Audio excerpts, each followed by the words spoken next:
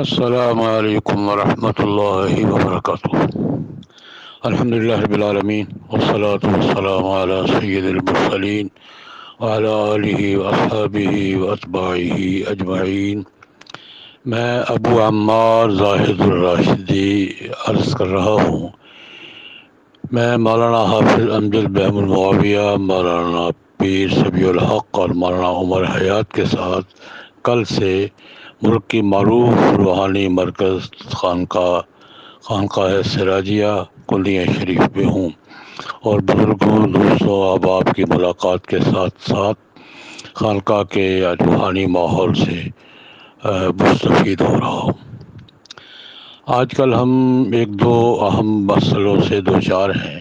ایک تو پہلے سے چلا رہا ہے کہ مساجد، مدارس اور عمومی اوقاف کو قانونی طور پر آئی ایم ایف اور فیٹ ایف اے ٹی ایف کی نگرانی میں دے دیا گیا ہے، جس پر ملک بھر میں احتجاج اور اضطراب جاری ہے اور دینی حلقے رابطے میں ہیں اور رمضان کے بعد انشاءاللہ العزیز اس کے میں کوئی اجتماعی موقع پر عمل طے کرنے کی بات چل رہی ہے۔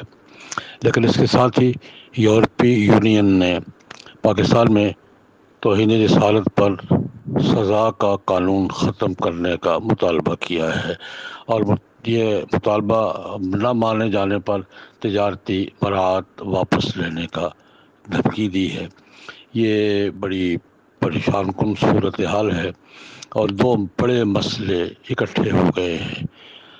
مسجد اور مدرسہ اور اوقاف کو آئی ایم ایف اور ایف اے ٹی ایف کی نگرانی سے بچانا اور ناموس رسالت کے تحفظ کے قوانین کی حفاظت کرنا، یہ دونوں مسئلے ہمارے ایمان اور عقیدہ اور ہماری مذہبی آزادی اور حقوق سے تعلق رکھتے ہیں، جن پر کسی حالت میں سمجھوتا نہیں کیا جا سکتا۔ اور میں سمجھتا ہوں کہ فراز کے گستاخانہ خاکوں پر ہماری حکمران کلاس نے جو گو بگور اور یہ تذبذب کا مظاہرہ کیا ہے، اس کا لازمی نتیجہ یہی تھا کہ یورپی یونین نے واضح دھمکی دے دی ہے۔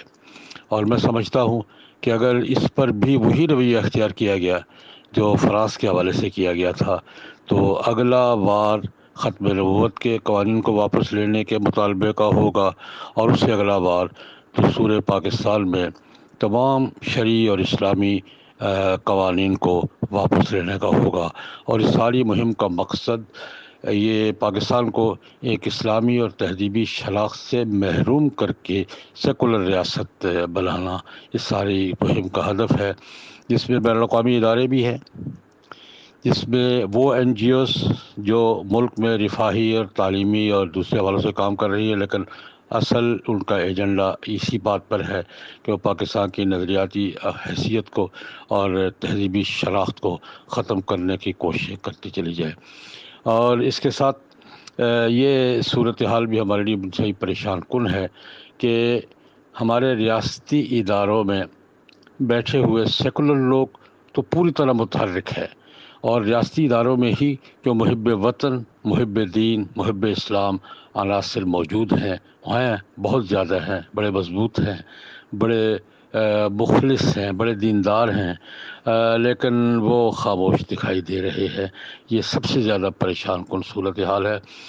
میری گزارش ہے کہ اگر سیکولر عناصر این جی اوز اور غیر ملکی ایجنڈے پہ چلنے والے اپنا کام اپنے محکمانہ ماحول میں کر رہے ہیں، تو محب وطن، دین اور پاکستان کی نظریاتی شناخت سے پر یقین رکھنے والے حضرات خاموش کیوں ہیں؟ یہ بڑا پریشان کن مسئلہ ہے۔ اس پس منظر میں میں دو تین باتیں قوم سے بحثیت قوم عرض کرنا چاہتا ہوں۔ یہ میں نے پہلے عرض کیا ہے کہ یہ مسئلہ، دونوں مسئلے، ہمارے ایمان کا مسئلہ ہے، عقیدے کا مسئلہ ہے ہماری مذہبی آزادی کا مسئلہ ہے، مذہبی حقوق کا مسئلہ ہے۔ اور یہ علماء کا مسئلہ نہیں، صرف یہ قوم کا مسئلہ ہے۔ قوم کے تمام طبقات کو اس میں اپنا اپنا کردار ادا کرنا چاہیے، ورنہ تاریخ کیا لکھے گی؟ یہ بھی دیکھ لیں۔ اور اللہ کی بارگاہ میں بھی پیش ہونا ہے، یہ بھی دیکھ لیں۔ افراد بھی اور طبقات بھی۔ اس صورتحال میں میں دو، ایک گزارش یہ کرنا چاہوں گا۔ ملی مجلس شریف پاکستان ہمارا ملک کا تمام مکاتب فکر کے سرکردہ علماء کا ایک مشترکہ فورم ہے، جس کی صدارت کی ذمہ داری مجھے دی گئی ہے۔ میں ملی مجلس شریف پاکستان کے صدر کی حیثیت سے ملک کے تمام طبقات، مکاتب فکر اور تمام رہنماؤں سے گزارش کرتا ہوں کہ وہ اکیس رمضان المبارک سے شروع ہونے والا عشرہ، اسے عوامی بیداری کے عشرے کے طور پر منائیں اور اس دوران ان دونوں مسئلوں پر اوقاف، مساجد اور مدارس کی آزادی کے تحفظ کے مسئلے پر اور ناموس رسالت، ختم نبوت اور دستور کی اسلامی دفعات کے تحفظ کے مسئلے پر عوامی بیداری کی مہم کریں جمعۃ المبارک کے اجتماعات میں بھی تراویح کے اجتماعات میں بھی افطاری کے اجتماعات میں بھی جو بھی راستہ ملتا ہے، لوگوں کو کم از کم بیدار ضرور کریں، بتائیں ضرور کہ کیا ہو رہا ہے اور دنیا ہمارے ساتھ کیا کرنے جا رہی ہے۔ دوسری بات میں یاد کرنا چاہوں گا کہ ہماری یہ جد و جہد پرامن قانون کے دائرے میں رہتے ہوئے، اس وضاحت کے ساتھ کہ کوئی طرز عمل تحریر جد و جہد میں ایسا اختیار نہیں کیا جائے گا جو دستور اور قانون کے تقاضوں کے منافی ہو اور امن کے تقاضوں کے منافی ہو۔ لیکن دستور اور قانون اور اخلاقیات کے دائرے میں جو آپشن بھی ہمیں ملتا ہے، انشاءاللہ العزیز، اسے بھرپور طریقے سے استعمال کریں گے اور حتی الوسع کوئی آپشن ضائع نہیں ہونے دیں گے۔ قانونی پرامن دستوری جد جہد ہمارا حق ہے، انشاءاللہ العزیز۔ ان سارے مقاصد کے حوالے سے ہم اس حق کو استعمال کریں گے۔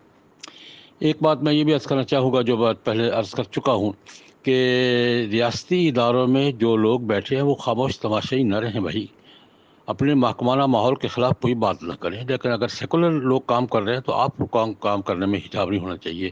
دوسری بات، تاجر برادری، وکلاء، صحافی برادری اور میڈیا میں بیٹھے ہوئے لوگ، وہاں بھی صورتحال یہی ہے۔ سوشل میڈیا ہو یا پرنٹ میڈیا ہو یا الیکٹرانک میڈیا ہو۔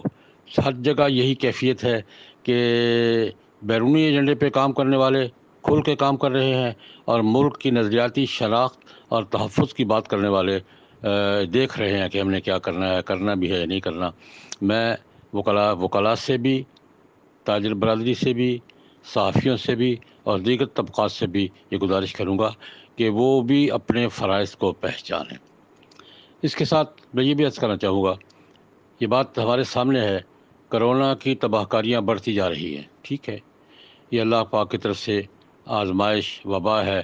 اس پر ہمیں اللہ کی بارگاہ میں توبہ اور استغفار کے ساتھ ساتھ تمام احتیاط اور علاج کے تمام جو میسر ذرائع ہیں وہ استعمال کرنے چاہیے۔ اور جو ادارے اور جو طبقات اس کے لیے کام کر رہے ہیں، ہم اس سے مکمل تعاون کرنا چاہیے۔ جو بھی قانونی اور طبی لحاظ سے کام ضروری ہو، ہمیں کرنا چاہیے۔ لیکن میں یہ بات عرض کرنا چاہوں گا کہ اس ساری صورتحال، احتیاط، علاج اور تدابیر کا مطلب خاموشی نہیں ہے۔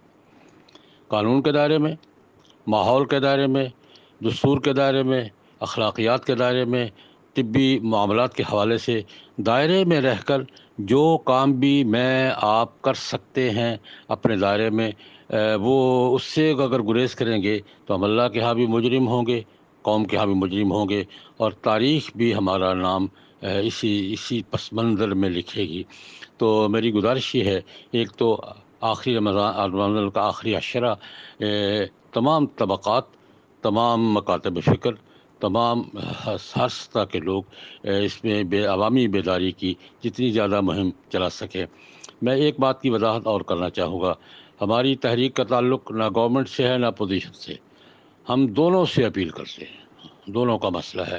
حکومت کے حلقوں میں جو لوگ ہیں اور اپوزیشن کے حلقوں میں جو لوگ ہیں، دونوں سے یکساں اپیل ہے کہ وہ اس قومی مسئلے میں، دینی مسئلے میں تہذیبی مسئلے میں، پاکستان کی شناخت کے مسئلے میں ہمارا ساتھ دیں، تعاون کریں، تاکہ ہم پاکستان، اسلامی جمہوریہ پاکستان کے دستور کو، اس کی شناخت کو، اس کے مقصد قیام کو اور اس کے اسلامی کردار کو محفوظ رکھ سکیں اور بیرونی سازشوں کو ناکام بنا سکیں۔ اللہ پاک ہم سب کو توفیق عطا فرمائے۔